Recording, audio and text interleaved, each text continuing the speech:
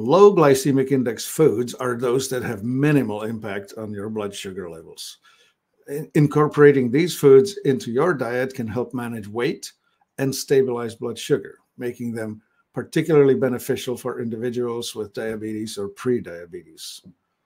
Examples of low glycemic index foods will include fats, proteins, oils, and in the carbohydrate segment, sweet potatoes, rolled oats, chickpeas, some fruits.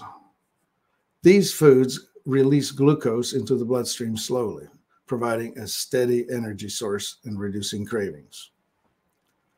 Low glycemic index diet not only aids in weight management, but it also contributes to overall health by reducing blood glucose spikes after meals.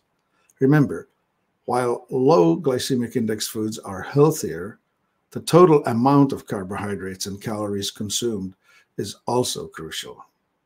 So, foods like meat, fish, poultry, nuts, and most vegetables contain little to no carbohydrates at all, and therefore don't even have a glycemic index score, but they play a vital role in a balanced diet.